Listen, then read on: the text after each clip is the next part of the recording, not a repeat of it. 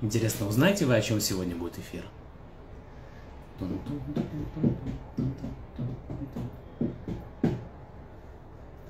Секрет бар Хайфа. Молодца. Надо к вам заскочить, кстати, как-нибудь. У вас отличный бар, сделаем рекламу, ребят. Тут подключился самый классный бар в Хайфе. Секрет бар, пишите название. То, мама цавны шамочери, макурай. вы что скучились, נכון? התגעגעתם? מה העניינים? Сейчас самый классный период, темнеет поздно. По-моему, говорят, 20 июня это самый длинный день, если я не ошибаюсь. Е, ура! Мы снова в эфире! То. Ребят, вас будет немного, мне кажется, потому что пятница, все заняты делами, кто-то уже начал отдыхать. Поэтому нормально. Будет коротко, но по делу. Как ваши дела? Напишите в комментариях. Кто что делает сейчас. Сейчас пятница, вечером. Бемате масуким. Чем вы заняты? Хуцми лицпот би. Кроме того, как смотреть час эфира. Аскаха, ребят, да, у меня сейчас последний ролик Reels был на тему э, полезного десерта, шоколадных шариков – как бы там ни было, мне это напомнило очень интересный фрагмент из интересного фильма. Я думаю, вам известный, вам известного фильма «Форест Гамп». Вы знаете, я очень люблю кино. И в нем, помните, Форест... Кто смотрел? Так, начнем с того. Кто смотрел Форест Гамп? Форест Гампа. Ми э, Цафа смотрел или видел? Мира. Это Форест Гамп. Серетов, он? Мира. Сейчас посмотрим, посмотрим, сколько у меня киноманов э, в подписках. חובבי סרטים וחובבי, חובב это любитель, חובבי קולנוע. רוצ'קו поднимаем, да? כן, גם אני. אוקיי. את עובדת? יום שישי. הגיע הזמן לחזור הביתה. טוב, אז יופי. Вы помните одно из тех, кто смотрели фильм, помните, там было такая, там много фраз, которые потом разобрали на, видите, мне птички подсказывают, да, да, там много фраз, которые потом разобрали на цитаты, но одна из самых главных фраз э, этого фильма, когда он сидел на этой известной скамейке Форест Гамп, и рядом подсела женщина, и он ей кое-что сказал. Помните, что он ей сказал? Что-то, что ему мама всегда говорила – такой, это потом стало такой фразой, цитатой. Том Хэнкс, он его сыграл. Он сыграл такого немного э, везучего дурачка. Но в этом и вся, весь, э, вся суть этого фильма. Ну, и намного больше, тем не менее. Он говорил следующее. На русском языке, кстати, перевели это не совсем точно, прямо слово в слово. Поэтому мы посмотрим, как это перевели на иврит. И так оно запоминается намного лучше. Он сказал следующее в фильме «Форест Гамп». Моя мама всегда говорила, что жизнь – это как коробка шоколадных конфет. Он, моя мама всегда говорила, что жизнь это как коробка шоколадных конфет. Ты никогда не знаешь, какая начинка тебе попадется. Помните этого, эту фразу из фильма? Те, кто смотрели. Э, ребят, нам нужно сначала вам присылать фильм, потом уже разбирать. Окей, это тоже красивая фраза, тем не менее, вот эту вот фразу хочется разобрать. И на английском она звучит точно так же примерно. Он говорил, он на английском сказал следующее. My mama always said me, life is like chocolate, is like box of chocolates. Что-то такое, chocolates, chocolates, я уже не помню. You never know what you're gonna get. Окей? Okay? И вот это вот выражение, я, э, э, ты никогда не знаешь, что ты э, получишь, если переводить дословно жизнь как коробка шоколадных конфет, ты никогда не знаешь, что ты получишь, но там есть такое выражение gonna get, окей? Okay? И давайте переведем вот это выражение на иврит. אני רואה פה הרבה אנשים חדשים.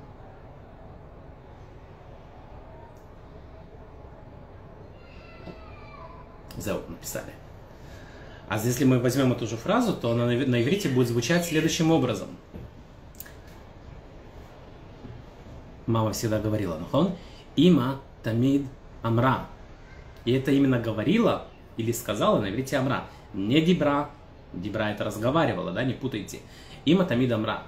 Шахаим, что жизнь, эм кмо кувсат шоколад. Обратите внимание, э, там есть местоимение эм, они. Почему там написано они? Потому что слово жизнь это множественное число. А слово эм в данном случае это не слово они в иврите, а это слово это. То есть жизнь это. И когда мы говорим, например, что-то потом это, то мы используем местоимение в иврите. И если вот это что-то множественного числа, как слово «жизнь», то вместо слова «это», вместо слова «зе», мы «зе» не должны говорить в данном случае, мы говорим местоимением «они», «эм», потому что «хаим» – множественное число. А за «хаим» «эм» «кмо», «они» как, «кувсат», «шоколадим» или «кувсат шоколад», я уже не помню, как там на, иврите точно, «кувсат шоколад». Но поскольку это можно сказать шоколадим тоже. Могу всад шоколад. И потом он говорит, ты никогда не знаешь, что ты получишь. И тут ивритский перевод падает на английский слово в слово, потому что точно такой же речевой оборот есть в иврите. А именно, вот это вот you'll never know, а та афпам, ты никогда. Афпам ло йодеа. Кстати, вместо афпам вы можете сказать леолам. Есть такое тоже наречие, никогда, как афпам. А та афпам ло йодеа, маата олех, что ты идешь. Прям как с английским. Правильно? Гона, going, гона, это одно и то же. Олех лекабель, get на английском. Как мы, почему именно олех? И это, я думаю, что все-таки это такая адаптация э, с английского на иврит, вообще, вот этого речевого оборота. Но в иврите его часто используют. На иврите слово олех идешь, оно используется не только как слово ходишь, да, там идешь или или иду, или идет, в зависимости от местоимения, шалом, шалом, оно также используется с дополнительным глаголом, как на английском, собираешься что-то сделать. Но тут не слово собираешься, потому что если я говорю, например, ребят, я собираюсь начать э, учиться там, да, в следующем году, то вот это собираюсь я могу использовать тоже словом иду. Они олех лятхиль лильмод башана аба. То есть я иду начать учиться. Собираюсь. Но в данном случае а олех лекабель тут не подразумевается, ты собираешься получить. Ты никогда не знаешь, что ты собираешься получить. Тут просто используется это как будущее время. Правильно? What you gonna get. Что ты получишь. И в русском языке нет вот этого речевого оборота, поэтому мы просто используем будущее время. Где же все-таки мы это используем? Ведь на иврите можно же было сказать просто «ма ата текабель». Просто ты не знаешь, ата ло йодеа, ма ата текабель, что ты получишь. И это будет то же самое, но здесь добавили слово олех. А, потому что дословно с английского гона, и два, потому что когда мы говорим словом идешь или идет, то мы также в иврите подразумеваем что-то, что случится в будущем. Например, идет игра. Какая-то команда, возьмем условно Реаль Мадрид и Барселона, нахон штей квуцот митхарот, соперники. И э, этот э, Прошан на иврите, это комментатор говорит, к Моше Занира Ахшав, как, так, вот как сейчас это выглядит, к Моше Занира Ахшав, я за Барселону больше. Барселона олехет ленацеах. Барселона идет победить. И это не собирается. Это скорее всего или в будущем времени, в ближайшем, как правило, победит. Когда хотят сказать, что э, будет, пойдет дождь. Пойдет дождь. Хотя сейчас не такой сезон, смотря где вы находитесь. Тоже, тоже на иврите часто можно услышать. Не просто пойдет на иврите, это будет спускаться Э, в плане дождя от слова ларедет, да, не просто еред, извиняюсь, не просто еред гешем, а именно олех, вот просто кто-то сидит с вами и говорит, вау, сколько туч, мне кажется, олех ларедет гешем, идет спу... идет, а потом ляредет, потом гешем, окей? Или я говорю, блин, будет холодно, будет холодно. Можно сказать екар, но также можно сказать олех льет. Кар идет быть холодно. Или я говорю, будет сложно, имея в виду, будет сложно. Олех льет. Каше. Будет больно. Олех льет. Коэв. Окей, тут вы можете идет быть как-то, да, мы дополняем после слова быть, больно, сложно и так далее, подразумевая, как будет скорее всего, да. Можно, конечно, просто, просто использовать будущее время, но тем не менее. Это имеет место. Я бы просто так вам не говорил бы, если бы это не использовалось, ребят, поверьте. В этом как бы моя фишка. Не пихать вам то, что в ульпане пихают непонятно для чего и когда этим последний раз пользовались. Да? А то, что есть э, в нашей повседневной жизни, боем-йом. Башигра. А теперь давайте вы напишите, понятно ли то, что я вам объяснил. Делитесь мыслями. Барур? Кенуло.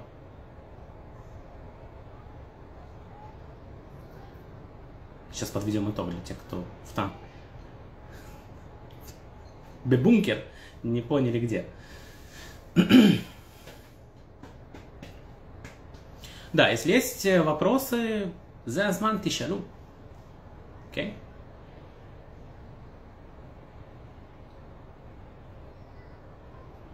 Ну и собирается, да, не забывайте, что слово собирается тоже используется, как собирается, например, говорят, там и олег, ля, олег собирается прибыть, как идет прибыть, собирается прибыть. Можно и в таком плане. Я могу спросить, мата олег ласот, что ты идешь делать, то есть что ты собираешься делать? Что ты собираешься? Тут это будет как собираешься. И еще, где мы еще используем слово идет. Все началось с предложения «ты никогда не знаешь, что ты получишь», да, из Форест Гам. «Ата афпам лёйдэ мата олех лекабель, маат олехет лекабель». Также мы используем, это важно, не отключаться никому, всем на месте оставаться. Еще важный момент. Эм, глагол идти с предлогом на, на, как будет на. Мы уже три дня разбираем предлоги на. Как мы скажем на, прям таки на, там, на чем-то.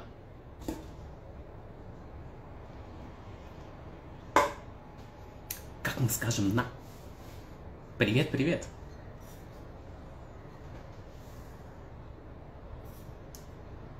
На. Давайте, включайтесь, ребят. Окей, первый вариант пошел, второй пошел. Аль, нахон, это аль. А на иврите, когда говорят я иду на, а не олех аль, или я пойду, а не элех аль, это не просто пойду на, на чем-то, а подразумевается я выберу. Мой выбор пойдет на что-то. Кто-то сталкивался с такой формулировкой? Например, у меня есть два варианта, и мне нужно выбрать один. А не цахливхор хад. Опция ахат, мечтая опциот. Он выбрать один что-то одно. Я говорю, хорошо, скорее всего, я выберу это. Да, я могу использовать классический вариант слова выбрать. Ливхор, помните? Они эфхар, они бухер, я выбираю. Они бухер б, кстати, с предлогом б или с предлогом эт, и так и так можно. Но также можно сказать они олехальзе, я иду на это. Также, вот, если я говорю, например, то они, они олехаль эфшарут миспарахат, я иду на опцию номер один, то есть я выбираю вариант номер один. Или они, они олехаль машохаль, или я пойду, они элех аль, то есть я, вы, я выберу, выбираю что-то. Иногда говорят, иди на это, лехальзе, нахон, то же самое, потому что в данном случае это еще и используется как дерзай, вперед. Я собираюсь это сделать, а не улех это вместо иду делать это, я могу сказать, а не олехальзе, я иду на это. Ну тут уже ближе к русскому можно, в общем-то, как бы как пойти на что-то, как-то соединить по смыслу. Но, тем не менее, еще раз, идти на это будет как выбрать что-то, или собраться что-то сделать, или решиться что-то сделать. Зел. Я решил. Эхлятити. А не олехалезе. А не олехаля курсим шельтимур. Окей. Немного самореклама. Что вы хотели? Если я себя не отрекламирую, кто меня отрекламирует? На иврите есть выражение «если я себе не позабочусь, кто позаботится обо мне?» «Мили имлё анили». Или наоборот. «Имлё анили мили». Если не я мне, то кто мне?